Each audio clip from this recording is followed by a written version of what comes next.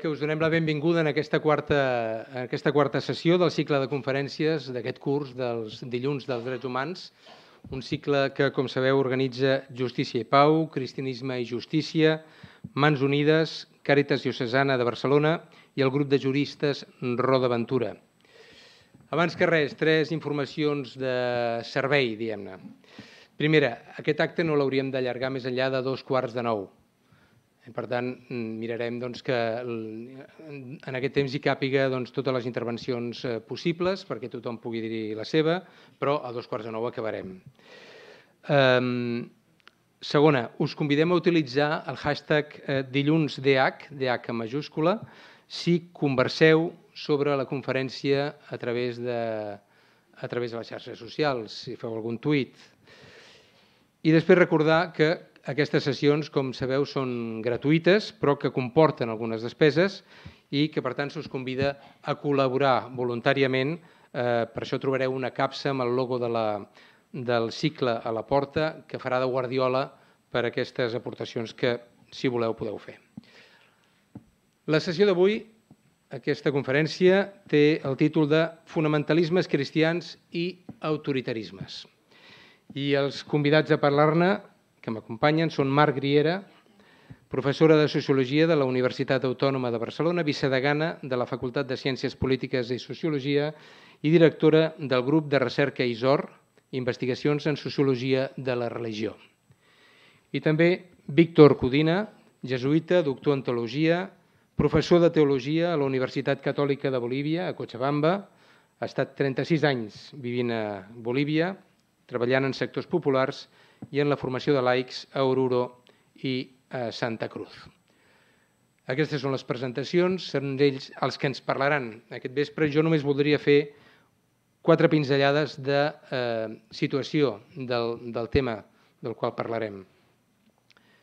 Fa deu dies Donald Trump feia un discurs davant de 5.000 evangèlics a Miami i afirmava «De debò que estic convençut que tenim Déu al nostre costat». Vaticinava així que guanyarà les eleccions presidencials de novembre dient que serà una victòria monumental per la fe i la família, per Déu i el país, per la bandera i la llibertat. Va més enllà el president brasiler Jair Bolsonaro, convençut que la seva presidència té un, és fruit d'un designi diví, que va ser un miracle que no morís en l'atemptat que va patir durant la campanya electoral i que Déu, així ho ha dit, va guiar el vot dels electors per vèncer contra pronòstic a les eleccions. El lema de Bolsonaro era Brasil per damunt de tot i Déu per damunt de tots. Ser president per la gràcia de Déu, en fi, i ratificada a més a més pel vot popular, no sé què em pot donar més autoritat a un mandatari. No? Cal preguntar-se, això sí, si Trump, Bolsonaro o Iván Duque a Colòmbia o Sebastián Piñera a Xile, encara que tots tenen registres que no són exactament iguals, evidentment, eh? però si haurien arribat al poder sense el suport de poderosos grups religiosos, evangèlics sobretot, que tenen una càrrega ideològica ultraconservadora i una doctrina econòmica també molt, molt determinada. El mes passat a Bolívia, ara, ara en parlàvem, eh, la renúncia del president Evo Morales va donar pas a una imatge, la de Janine Áñez, l'actual proclamada presidenta, presidenta, arribant amb una gran bíblia al Palau Presidencial. I l'exassessor de Trump, Steve Bannon, s'instal·la, no per casualitat, a Itàlia, prop de Roma, prop del Vaticà, per influir, per ajudar, per aplaudir opcions ultres a Europa, com ara Vox, com la Lliga de Salvini o el Fidesz d'Orban a Hongria. La pregunta que ens plantegem és hi ha un intent de segrest del cristianisme per part d'aquestes opcions situades més a la dreta? Es pot parlar de cristofeixisme, com fa el teòleg Juan José Tamayo citant la teòloga alemanya Dorothy Sol? En fi, són preguntes que formen part del context d'aquesta sessió d'avui i que jo volia que servissin com a, com a preàmbul per la, Mm, per la conferència, per la intervenció d'ells dos. Parlaran entre 15 i 20 minuts, això és el que està previst, i després eh, donarem la paraula als vostres comentaris, opinions, preguntes, el que vulgueu. I comencem amb la, amb la Margriera, quan vulguis tens la paraula. Moltes gràcies. Bon.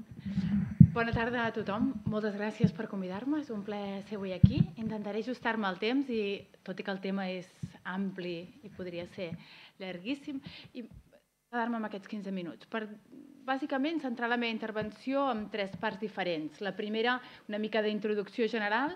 La segona, sobre de què parlem quan parlem de fonamentalisme cristià la tercera sobre el, de què parlem quan parlem d'autoritarismes, a què ens estem referint, per acabar finalment posant una mica el focus a Europa. No? Com dèiem, l'escenari global és un escenari, en certa manera, esfereïdor en termes de dreta i populisme, però també Europa és un tema que genera debat i que és interessant centrar una mica la mirada. Per començar aquesta petita introducció, només dir que quan parlem d'autoritarisme i cristianisme jo crec que és molt important posar l'accent en tres coses. És un fenomen altament complex, heterogeni i volàtil. Què vull dir amb això? Primer de tot, complex perquè les categories d'anàlisi clàssica, jo soc sociòloga, com a sociòloga les categories d'anàlisi dels anys 70, 80, però fins i tot 90, no ens serveixen avui en dia per entendre la realitat. Havíem estat parlant durant molts anys de secularització de la societat i de la retirada de Déu de la vida pública. Avui dia, societats com les europees són societats altament secularitzades, però Déu està més present a la vida pública avui dia que als anys 90. Per altra banda, però, havíem parlat del procés de secularització com un procés irreversible, com si fos un procés que, en certa manera, les societats secularitzaven i això era un efecte sense retrocés. Si mirem a Europa de l'Est, contradiu absolutament aquesta tesi. Europa de l'Est es va secularitzar i avui dia les, les generacions més joves són més religioses que les generacions adultes amb la qual cosa totes aquelles categories que és de la sociologia de la religió, la ciència política, havíem utilitzat per entendre com es produïa o com evolucionava la religió, no ens serveixen. No tenim capacitat per entendre l'actualitat. Per això també el meu és una anàlisi molt parcial, ple d'incògnites, ple de preguntes sense respondre, perquè estem aquí, en certa manera, estem en aquest anàlisi. Complex, deia, en primer lloc. En segon lloc, heterogeni, perquè és un fenomen fortament global, i ara mateix no, la introducció del Joan Carles doncs podem parlar des de Xile, eh, parlàvem de Bolívia, però podem parlar de Nigèria, podem parlar eh, d'alguns partits extrem, del Salvini, però alhora és fortament local. És a dir, costa molt aplicar esquemes globals que ens serveixin per entendre cada realitat eh, local. No? És molt difícil fer generalitzacions que serveixin per entendre Bolsonaro i per entendre Salvini al mateix temps. Els registres són diferents i les dinàmiques són diferents. No? Per tant, és un fenomen que no només és complex, és heterogeni i el tercer, i en tercer lloc és volàtil. I això avui m'ha anat molt bé aquesta conferència perquè he repassat els estudis acadèmics últims que han sortit no? sobre el tema i només ah, recerques del 2017 que deien que l'estat espanyol era immune a l'extrema dreta. És a dir, i, i data, clar, són publicades 2017, vol dir que estaven fetes 2015, però dius, ostres, realment, en dos anys i les, els articles acadèmics intentaven explicar per què l'estat espanyol era immune a aquesta extrema dreta, no? la qual cosa Uh, avui dia ja no estem en cap excepció i per tant ja no ens serveixen les teories no ja de fa 20 anys, de fa dos anys, no? perquè què està passant també a casa nostra. I aquest factor de volatilitat, que també, per exemple, en el cas d'Amèrica Llatina, i aquí el Víctor Codina és molt més expert que jo amb, el, amb Amèrica Llatina, uh, és també fonamental per entendre què passa al continent. No? Per tant, una mica aquestes primeres introduccions, aquesta idea de complexitat, heterogeneïtat i volatilitat. Després, la segona cosa que deia, no? que, de què parlem quan parlem de fonamentalisme? No? I aquesta és una paraula eh, que en certa manera avui dia l'utilitzem a tor i a dret i la fem servir en molts discursos, fins i tot jo m'anava al, al diccionari, al DIEC, no? que aquesta nova pàgina web, a més, a intentar entendre que, que, com ho definia. I em parlen d'un corrent extremista i intolerant. El que passa que quan parlem de fonamentalisme, el fonamentalisme té el seu origen a Estats Units, sobretot per la publicació d'un llibre que es deia The Fundamentals, uh, una, un testimoni de la veritat, que es publica uh, entre 1910 i 1915. Quan parlam de fonamentalisme cristià als Estats Units, el 1910-1920, es referia a, una, a un grup molt relativament petit de, de cristians que creen en la literalitat de la Bíblia, que creien en la necessitat de retornar als orígens de l'escriptura, que en certa manera reclamaven uh, una altra o una mirada literal a la, a la Bíblia en un context que començava a canviar. Clar, en aquest context els fonamentalistes no tenien cap interès en entrar a la vida pública. És més, la majoria d'ells tenien el que se'n diu una doctrina separatista, Déu i la religió com espais separats. La religió no es pot contaminar d'entrar a la vida pública. La, la, la mirada històrica dels fonamentalistes era gairebé contrària al fonamentalisme que entenem avui dia. La seva idea era no podem accedir a la política, no podem entrar a discutir políticament, no ens, molts d'ells fins i tot no votaven, perquè entrar a l'arena política ens contaminarà, ens farà uh, entrar en món de pecat. També perquè anava unit a una mirada molt escatològica de la fi del món. Si Déu està a punt d'arribar una altra vegada, quin sentit hi ha en canviar el món? una mica la mirada. Eh? I aquest és l'origen de, la, de la paraula fonamentalisme, d'aquest petit grup, que després hem anat utilitzant abastament no? per parlar de, de diferents grups religiosos, per parlar de diferents corrents, però que convé recordar una mica que l'origen més aviat no és aquesta voluntat d'entrar a l'esfera pública, sinó més aviat una voluntat de recloure's en comunitats tancades, literalistes, biblístiques, etc. Què és el que passa per això? Que, la, la, en certa manera, el cristianisme es transforma al llarg del segle XX. Aquí altra vegada tinc un teòleg al costat, per tant, no cal que m'hi allargui molt, però sí que jo crec que és important posar l'accent en, en, en tres coses diferents. La primera és l'evolució del cristianisme a Estats Units, de quina manera uh, bàsicament amb aquesta, com aquests petits grups d'evangèlics van agafant i van prenent, uh, van prenent cada vegada un rol més important a l'esfera pública. Es diu, hi ha un politòleg francès, Sils Keppel, que diu que és la creació de majoria moral, no sé si us sona això, és el lobby uh, protestant que neix en certa manera en l'època Reagan, una mica com a contraposició a tots els moviments més de drets civils dels 60-70, moviment més d'emancipació, el primer gran lobby protestant als Estats Units que posa o que entra en el context polític. És un lobby que després de l'era Reagan, etc fa una mica fallida, però en certa manera és això del Tea Party, no? que encara uh, té, tindria els seus orígens en aquest primer lobby d'aquests cristians evangèlics que van passar a tenir o voler tenir un rol a la vida pública què van, en certa manera, què van canviar? Quina via van iniciar aquests protestants evangèlics nord-americans?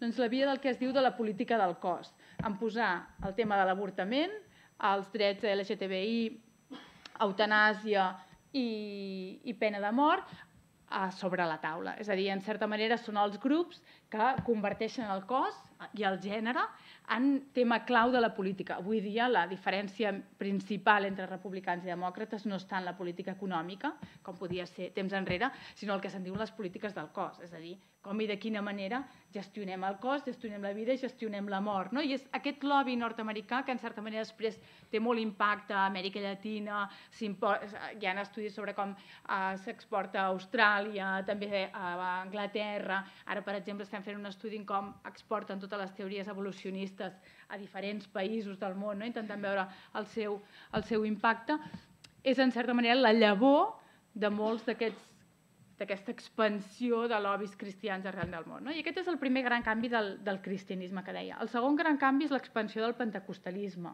Jo no sé si us sona el pentecostalisme, no? però bàsicament neix a Los Angeles el 1906, és el que se'n diu The Azusa Street Revival, és, com un, és una mena de, de, de revival religiós, d'efervescència, és a més a més, en aquell moment és molt... Uh, en certa manera molt popular perquè junta blancs, negres a Los Angeles i arran d'allà s'exporta arreu del món, sobretot on té molt impacte és Amèrica, Amèrica Llatina. No només, eh? també, per exemple, un país com Nigèria, que aviat serà un dels països més cristians del món, molta o bona part dels cristians que hi ha són de caràcter pentecostal. El pentecostalisme és molt divers, és molt heterogeni, és, és difícil de captar, però té una característica clau que és en general ha sigut profundament conservador. Profundament conservador i també té aquesta dinàmica, aquesta, que en dèiem, aquesta, aquest èmfasi en el, en, en el cos, en les polítiques o en aquest tipus de, de variables.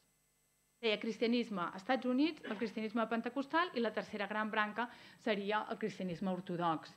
Jo no sóc un expert en Europa de l'Est i Europa de l'Est és una amalgama molt, molt complicat, però sí que en certa manera és important posar de manifest com Europa de l'Est i el cristianisme de l'Est és un cristianisme molt vinculat al, als, a les identitats nacionals i al poder polític, la qual cosa el converteix en un altre element clau en aquest eix entre cristianisme i política. és un mapa molt genèric el que us estic fent i molt divers, és, uh, no sé si és una mica heterogeni, però aquesta idea, no? com aquest cristianisme que es va eh, en certa manera extenent durant el segle XX, un cristianisme de caràcter conservador que té una mica aquests tres eixos, Estats Units i els lobbies polítics, el, el cristianisme pentecostalista i el cristianisme de caràcter ortodox. Dintre del catolicisme, òbviament, i aquí ja no m'hi poso, que altra vegada tinc un teòleg al costat, també hi ha els seus, uh, els seus creixements. Per no allargar-me excessivament, diria, entraríem a la, tercera, a la tercera part del que deia avui dia, quina vinculació amb l'autoritarisme, no? quina vinculació trobem d'aquest cristianisme amb l'autoritarisme. Com deia, històricament aquest cristianisme de caràcter literalista, més aviat conservador, tenia una tendència endògena, tenia una tendència a focalitzar-se en la construcció de comunitats tancades, no tan obertes de cara a l'exterior, almenys quan parlem de l'època contemporània? XX, especialment cristianisme protestant. Què ha passat en les últimes dècades? Que cada vegada té un impacte molt més de cara al públic i de cara a l'esfera pública. Qui, com i de quina manera, per una banda, construint moviment, és a dir, moltes vegades és el moviment de base que acompanya la creació de partits polítics, els gra les grans trobades, eh, les grans manifestacions, les marxes per a Cristo, eh, les, és a dir, un tipus de cristianisme que ofereix unes dinàmiques gairebé de moviment social, eh, de, de dinàmica de, de manifestació pública, molt més semblant a la, als repertoris que havien tingut moviments socials que no pas el que havia tingut la religió tradicional o els partits, i que en certa manera va entrant en aquesta, en aquesta vida, vida pública. I entro ja, perquè si no no tindré temps, a la darrera part de què passa amb Europa. No? És a dir, molt bé, tenim aquest, aquest escenari global, aquest escenari on aquest cristianisme conservador guanya, guanya, guanya pes, com es tradueix això en un context on teòricament era el context més secularitzat. Clar, quan veiem el, el que els politòlegs, sociòlegs diuen, diuen que hi ha un, un creixement, especialment a Europa, del que se'n diu Ara, avui dia es fan servir la terminologia ja no d'extrema dreta, sinó de populisme de dreta radical. Per què en parlen així? Perquè parlen sobretot del creixement d'un tipus de dreta que ja no veu tan directament de la dreta feixista clàssica, sinó que en certa manera és un tipus de dreta que respecta la democràcia, almenys proceduralment, és a dir, el que són els procediments de la democràcia, no, no és una dreta que intenti enderrocar la democràcia i construir una, una dictadura, però que sí que destrueix els fonaments de la democràcia si l'entenem com a forma de participació igualitària a l'espai públic. És a dir, és un fenomen, a més a més, relativament nou.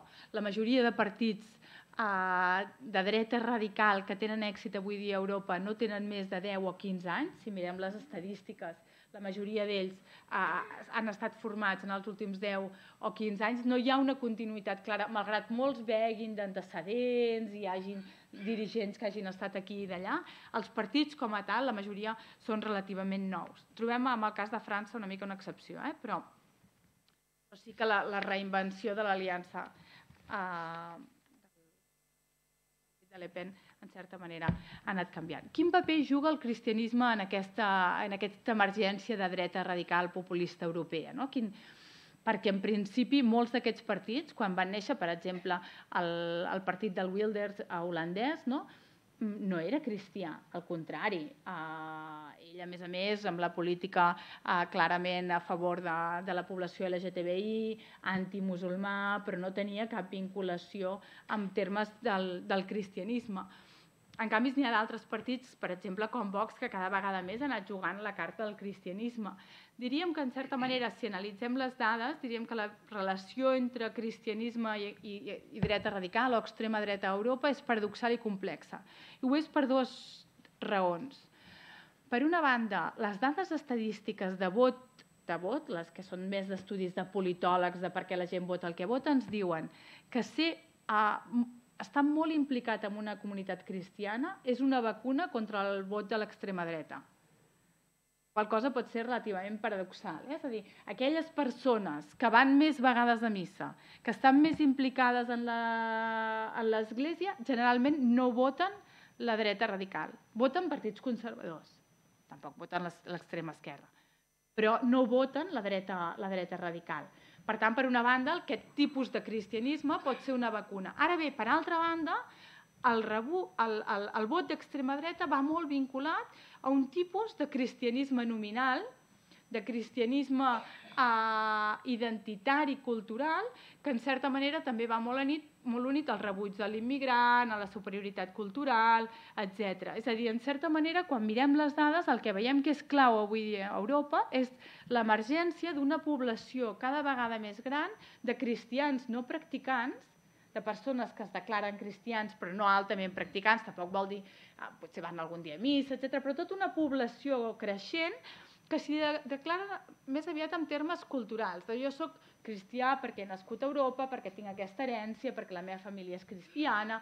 Aquest tipus de, de, de persones són les que en certa manera sustenten d'una forma més eh, determinant aquest vot del, de l'extrema dreta. Són la base, el, el, la població que en certa manera eh, li dona més, més, més pes. També unit el que en diríem l'emergència del discurs de l'etnopluralisme. Jo no sé si heu sentit a parlar d'etnopluralisme.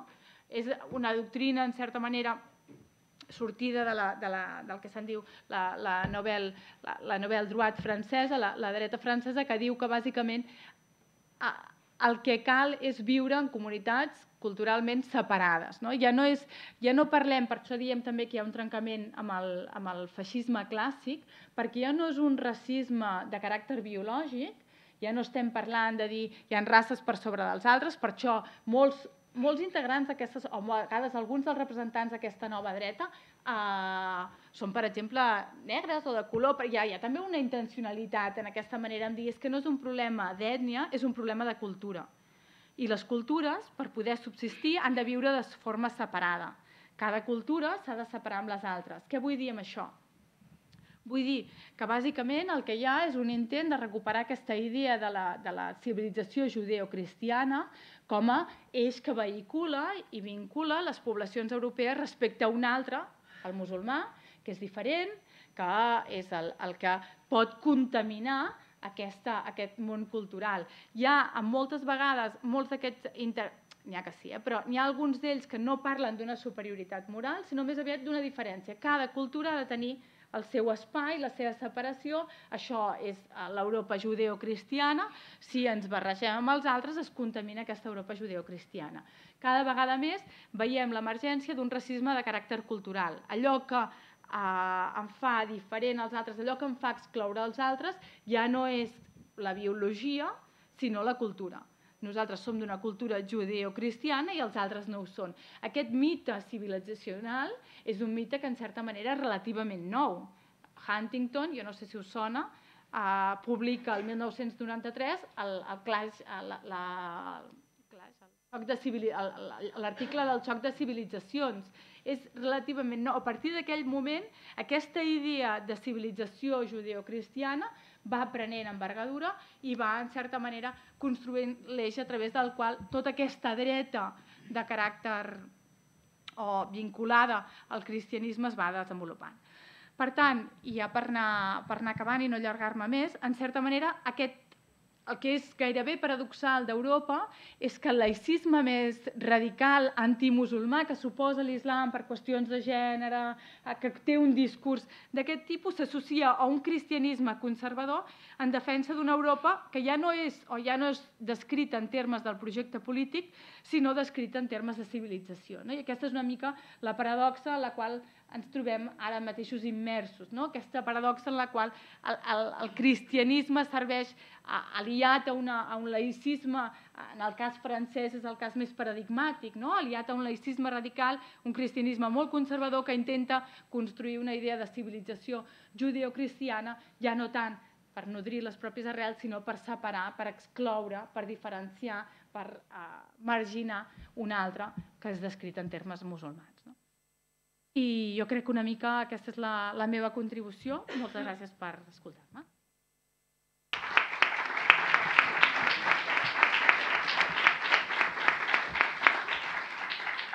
Gràcies, Marc. Ara eh, escoltarem Víctor Codina. Una pregunta només. Abans he dit que el, el hashtag...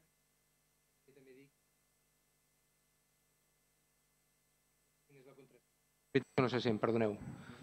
No és oberta. Vale, vale, perquè demanava la contrasenya. Entesos, doncs... Eh, la intervenció de Víctor Codina, quan vulgui. Molt bé, bona tarda a tothom. Agraït de la invitació. Algunes coses ja les ha dit ella. Jo em centraré més en la part més teològica, no? I ja estic d'acord amb ella que realment no és fàcil definir els fundamentalismes, però que els fundamentalistes, tal com els entenem, hi han dues dimensions. No? La dimensió religiosa. Per tant, jo penso que neixen sobretot en moments de por, en moments de canvi, en moments on realment la societat religiosa es troba en unes situacions desconegudes, sigui per la ciència, per exemple, l'evolucionisme, sigui per una, una lectura crítica de les escriptures, després moviments socials que desconcerten, per exemple, seria el socialisme, el comunisme, també els moviments feministes, ecologistes, tot això produeix una certa por a un, a un tipus de religió més o menys tradicional, i que mou a, un, a, un, a una religió fonamentalista i en aquest sentit jo penso que es pot parlar d'un fonamentalisme religiós tant jueu, islàmic com cristià i d'altres religions també. Bueno, històricament, com ha dit ella, realment això neix de, de, dels anys 10 i 20, quan un grup de, de, de cristians protestants veuen que, que les, la lectura crítica de l'escriptura doncs, trenca tot el que ells havien pensat fins ara. Per tant, hi ha una certa por. Doncs, tornar a les arrels enteses d'una forma molt literal de l'escriptura. Ara bé, de fet, aquest fonamentalisme de seguida diríem, té una dimensió eh, política. És dir, la religió dona una certa seguretat. Allò que és sagrat dona seguretat. I per, to, per això, diríem, uns partits polítics religiosos sembla que tenen més garantia. I per tant, també d'aquí, i a la història s'ha donat, partits on hi hagi una unió, Església i Estat, líders carismàtics, una certa persecució dels no addictes, per tant, diríem, un no sap si és la política que busca ajuda a la religió o a vegades la religió que vol tenir una major dimensió pública i s'acosta a la política. Segurament les dues coses es poden donar. No? Aleshores, ell ha parlat ja de, que, de l'actualitat del tema, no? partits eh, catòlics i evangelistes ultraconservadors al poder a Amèrica Latina, Recordem que al passat, per exemple, en les dictadures d'Amèrica Llatina, del Pinochet, del Banzer i del Videla, aquests es presentaven com catòlics, no? com catòlics, i aquests van assassinar doncs, a la Llacuria i el Romero i l'Espinal en nom de la civilització cristiana occidental. El John Sobrino, quan explica que ell estava a Àsia quan van matar els seus companys i li deien qui han matat aquests? Gent pagana, gent... No, no, no, no, no són gent cristiana els que han matat aquests. No. Deia, estava, em sembla que estava a Camboya o a Vietnam, la gent no entenia això, no entenia. bueno, doncs ara realment hi ha un tipus de, de, de, cristianisme i polític i fundamentalista al Brasil, Bolsonaro, i és clar, a, a Brasil, la Janine Áñez, no? està clar, ha anat al Parlament amb els evangelis i després hi ha un altre de Santa Cruz, Camacho, d'un moviment diríem, de, de la joventut crucenyista, que són sumament conservadors, quasi bé pronazis, del Camacho, que sembla que és evangèlic, i ha dit anem a treure Satan del Parlament i contra la Pachamama. Està clar, aquí també, perquè s'entengui, a l'Evo Morales eh, es presentava realment com, com un indígena, etc. i encara que oficialment l'Estat estava separat de la religió, etc., però de fet introduïa la religió indígena. I per tant, també una mena de, de, de contradicció. No? I per tant, grups cristians es trobaven una mica incòmodes i, per tant, ara amb la crisi que hi ha hagut, doncs, ara és qüestió de, de tornar, diríem, al, als principis religiosos cristians. No? Aleshores, el socialisme del segle XXI doncs Amèrica Llatina està trontollant. No? També a Europa, ja han dit, no? el Vox, Salvini, està clar, Salvini amb el rosari, amb el rosari al mà, a la mà parlant contra els immigrants. Bueno. L'Urban d'Hongria. Aleshores, aquests tenen un pensament únic, vertical, masclista, sense diàleg, populisme antidemocràtic, intolerància pels diferents i la postura religiosa sembla donar seguretat. No? Campanyes polítiques contra l'avortament, homosexualitat, emigrants i al mateix temps eh, fomentar l'armamentisme. No? Bueno, doncs, el del, del Trump és un cas claríssim. No? I l'Steve Bannon, que, està, que volia anar a Itàlia i un, un, un convent cistercenc o mitjaval per, per formar cristians, bueno, ara sembla que li han dit que no, però continua per allà. No? I aleshores, els moviments evangèlics bueno, han sigut molt importants, els pentecostals, però sobretot els, els neopentecostals, no? Que són molt conservadors en moral sexual, però que, eh, diríem, tenen una gran força. I, per exemple, hi ha tot l'influx dels Estats Units, hi ha tota una història, ja el Rockefeller ja va parlar de que els enemics d'Amèrica Llatina, de, de, de Nord-Amèrica, eren Amèrica Llatina, eren les comunitats de base, la teologia de l'alliberament i els jesuïtes. Després, el document de Santa Fe, també, diguem, alertant el Truman i el, i el, i el Reagan de que, de que realment tenien que canviar. I aleshores hi ha tot un, tot un procés d'enviar grups evangèlics a Amèrica Llatina per contrarrestar el cristianisme alliberador que hi havia aquells anys. No? Aleshores, també em sembla que cal di distingir aquests moviments evangèlics, neopentecostals sobretot, de les esglésies protestants històriques, no? luteranes, metodistes, anglicanes, etc. Aquesta gent està en una altra dimensió. No? Ara, ja entrar una mica a la part més teològica. Cal dir que Jesús de Nazaret no va ser fonamentalista, ni integrista, ni feixista.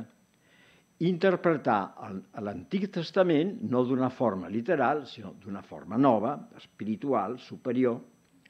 No va ser un Messies davídic, amb força i poder, sinó Nazaré, que ell va tenir una postura molt crítica davant la teocràcia jueva del seu temps, contra els sacerdots, contra els levites, contra els escribes, els fariseus, va expulsar els venedors del temple, per tant, no, no, no estava lligat al poder. No?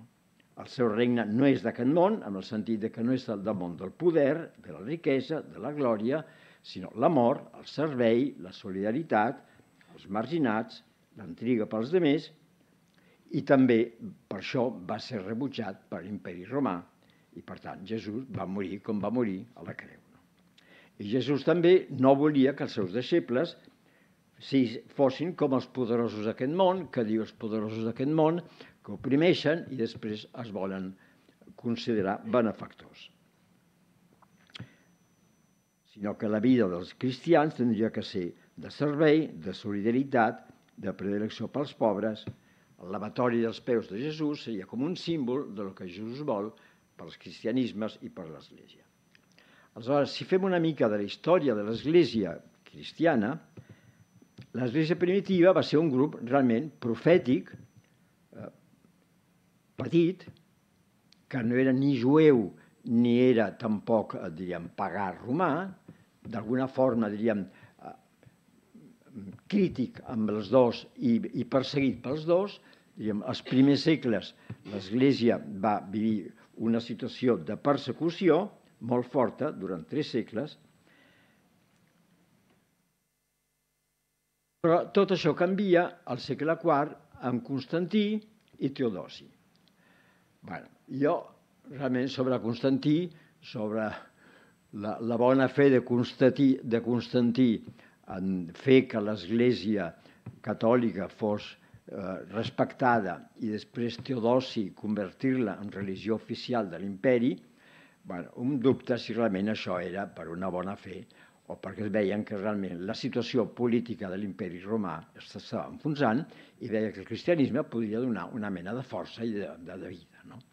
I per tant, ell es va interessar molt pel cristianisme, inclús va, eh, va convocar concilis contra les heretgies, jo suposo que les heretgies a ell no li importaven per res, el que no volia és que hi hagués divisió política al país, i per tant, aquí comença, diríem, la situació de la cristiandat, religió oficial de l'Estat. Per tant, diríem, a l'Església Catòlica tenim una tradició eh, d'un fonamentalisme, podríem dir, en sentit modern, però que ja ve de, de lluny. No? Conversions massives, baptisme d'infants generalitzat, per tant, ser membre de l'Església i de l'Estat cristià és el mateix. No? Bé, això fins ara, no? ha estat durant molts, molts segles. Després va haver-hi la reforma gregoriana del segle XI que va reforçar el centralisme, la papalització, creuades, la, la, la reconquesta espanyola contra l'islam, no? això de l'islam això ja té història, no? Santiago i Sierra Espanya, Santiago Matamoros, a Bolívia hi havia imatges de Santiago amb un moro que estava matant, pues, pobres que tenen que veure els bolivians amb aquests matamoros. No? Bueno. Guerres de religió, inquisició, missió colonitzadora, fora de l'Església no, no hi ha salvació, no? estats pontificis, postura de l'Església contrarrevolucionària després de la Revolució Francesa, el magisteri eclesiàstic antimodernista, Pius IX, Pius X, contra la separació Església i Estat, contra la llibertat religiosa, voler imposar a l'Estat normes catòliques, defensa de la tradició cristiana occidental, partits cristians... Bueno, i a Montserrat la frase de Torres i Bages, Catalunya serà cristiana o no serà. Bueno. Bueno, aquesta situació fonamentalista catòlica durà fins al Vaticà II. El concili va fer realment un gran canvi. Passar de l'anatema, de l'exclusió, al diàleg, defensa de l'ecumenisme, la llibertat religiosa, la justícia, els drets humans, el no ser profetes de calamitats, l'estudi crític de la Bíblia, els signes dels temps, salvació universal, i per tant, diríem, avui dia el cristianisme i el catolicisme en concret, diguem, la línia del concili és una línia que trenca amb tota una tradició mm, secular molt forta, molt forta. I diríem, aquesta és la línia també del papa Francesc, després d'un invern eclesial dels papes, dels dos papes anteriors. No?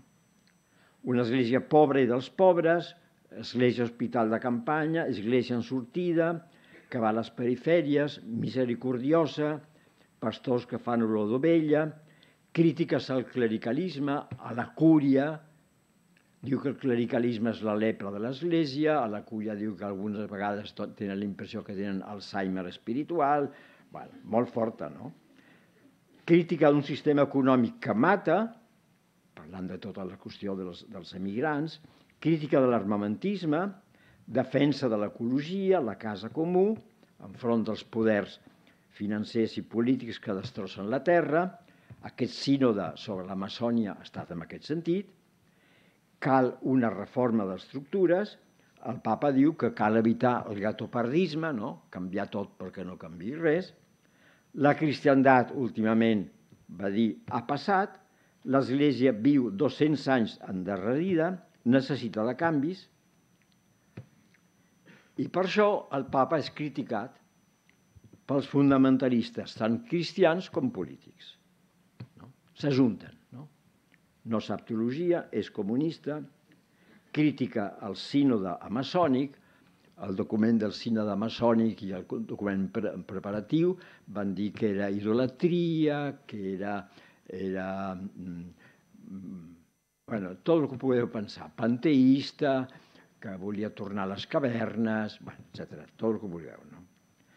I ara, recentment, resulta que un dels, un dels d'extrema dreta, el cardenal Sara, que és el prefecte de la congregació del culte i els sacraments, en Benet XVI han escrit un llibre que sortirà un dia d'aquests dies en contra del papa en el sentit de que el sínode de la Maçònia es permet, el que es va demanar a la gent i va ser aprovat pel sínode, es permet ordenar a homes casats per atendre als, als cristians de la Maçònia que passen anys sense tenir Eucaristia i aquests dos enemics del papa acaben d'escriure un llibre en el qual es carreguen tot això, el qual també crea una situació ben complexa perquè dona la impressió d'una mena de cisma a l'Església i Benet XVI, que fins ara havia estat prudent, doncs ara sembla que es, es posa a línia amb, amb la línia de, de tots els enemics del papa. No? Aleshores, diríem, què és el que, des del punt de vista cristià, pot evitar aquestes situacions, diríem, d'angoixa, de por? El Francesc, el papa Francesc, confia en la força de l'esperit del Senyor, que guia no solament l'Església, sinó la societat. I, per tant, l'esperit és font d'alegria, de vida veritable, no tenir por. Això no significa una salvació màgica, cal lluitar i treballar, necessitem, necessitem conversions personals, eclesials, socials, ecològiques, però sempre confiant en la força de l'esperit que actua des de baix. Diguem, històricament a l'Església l'esperit en els moments tant de la Bíblia com de la història de l'Església, quan sembla que, que el caos i la situació de, de foscor, de profundis, eh, tot s'enfonsa, l'esperit actua. No? Des de la Bíblia, que sembla que el caos principal inicial, doncs l'esperit donava vida i donava esperança. Bueno, això seria una mica el meu punt de vista més teològic.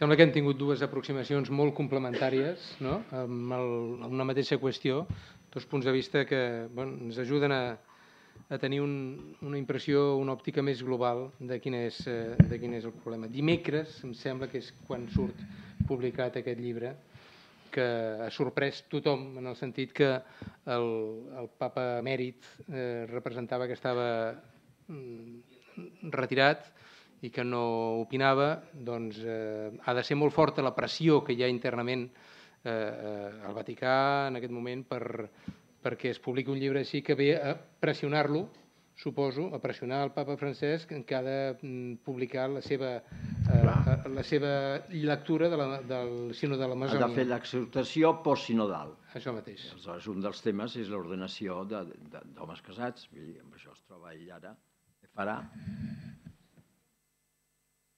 Bé, mm, a partir d'això, i abans de donar-vos eh, la paraula, us volia fer re, un, un, parell, un parell, posar un parell de qüestions.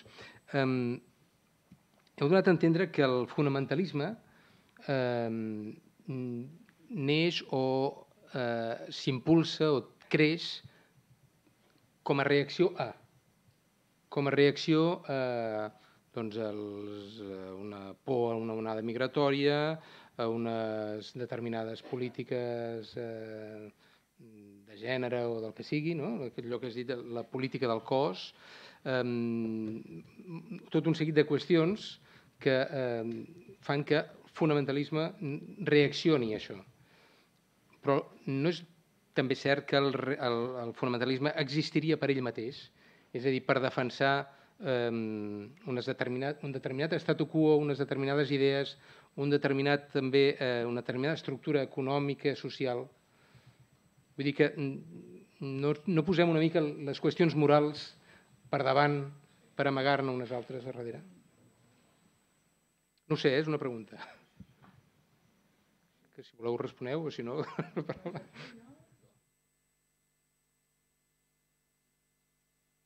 jo massa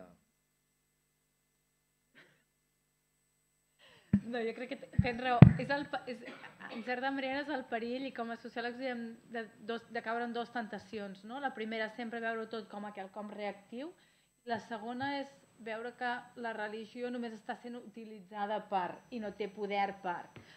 I aquestes són les dues tentacions que com a sociòlegs caiem moltes vegades i és difícil anar més enllà. Hi ha alguns politòlegs que posen l'accent en dir que per entendre el fonamentalisme hem d'entendre tant l'oferta com la demanda. És a dir, el fonamentalisme es crea tant perquè hi ha una oferta, és a dir, per tant, hi ha tot un seguit de líders, per exemple, en el cas de l'estat espanyol, és claríssim, no? Vox, fa, vol dir que l'any 2017, quan escrivien aquests articles dient que no hi havia extrema dreta, no n'hi havia? Dos anys n'hi ha, què passa? No? Ja, el que canvia clarament és l'oferta hi ha, hi ha un, uns determinats líders que s'organitzen i per tant responen també a una estructura determinada i generen o donen resposta o creen una demanda. I per altra banda hi ha la demanda, no? la demanda a vegades més d'aquest caràcter reactiu. Una societat que davant d'uns certs canvis busca o no busca o accepta o no accepta determinades lectures. No?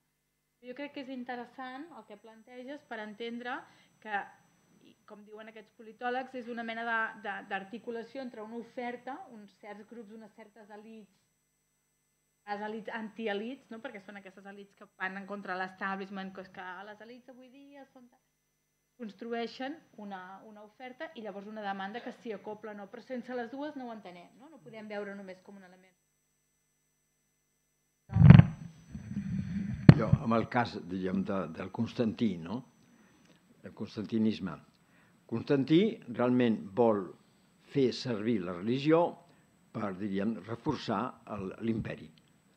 Però de part de l'Església, després de tres segles de persecucions, doncs, està clar, el reben amb les mans obertes perquè pensa que amb això vindrà la pau i la salvació. Per tant, és, és per totes dues parts. No? I una altra cosa referida a l'Amèrica Llatina.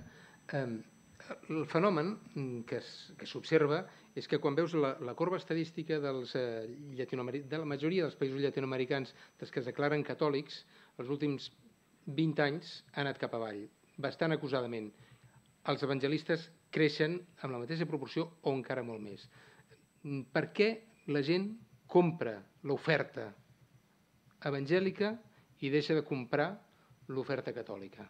quan en realitat també l'oferta catòlica els oferia una àmplia gamma, perquè dins, la, dins el catolicisme mm, pot ser de l'opus o pot ser de la teologia de l'alliberament, mm, per tant, ideològicament tens un encaix. Jo penso que molta gent d'aquesta oferta catòlica vivien una cosa purament externa, vull dir, res, molta gent ni coneix la Bíblia, ni, ni ha tingut una experiència espiritual, van a una església petita, una comunitat evangèlica que els ensenyen la Bíblia, canten, diríem, tenen una veu, els laics, les dones, canvia, diríem, i s'interessen per ells, d'on vens, tens treball, no tens treball, s'han trobat acollits, és un tipus de comunitats diferents de la, diríem, gent que no ha viscut realment el cristianisme amb una certa força, la línia de l'alliberament o de comunitats de base, és una cosa tan superficial que troben fora de l'Església Catòlica allò que haguessin pogut trobar a l'Església Catòlica però que no han trobat per culpa d'ells o per culpa de l'Església Catòlica.